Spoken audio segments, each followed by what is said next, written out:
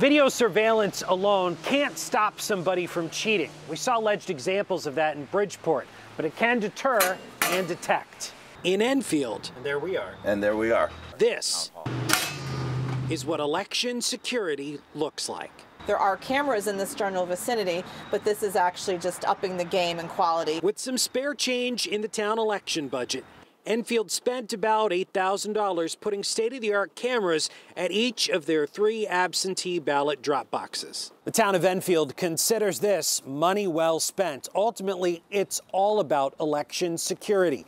These cameras installed at each of the town's three drop boxes. The picture so clear they can identify license plates, individual faces, and colors, all through artificial intelligence. All the uh, film is captured, stored in the cloud. So again, it's easily available, backed up.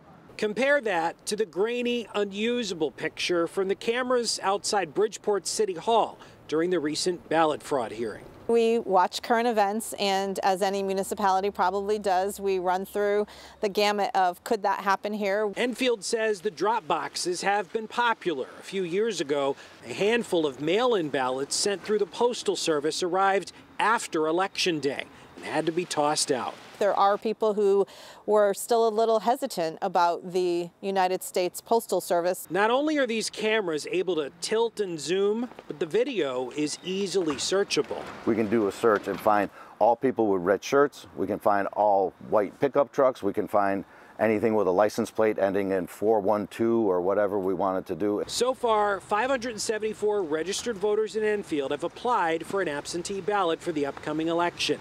As of October 6, their requested ballot was mailed.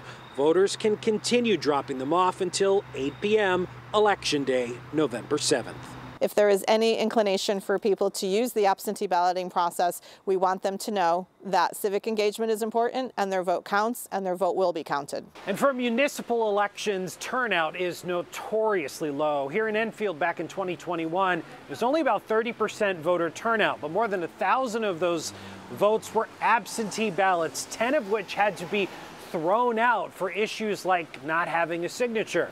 Moral of the story, check those packets, read follow the directions.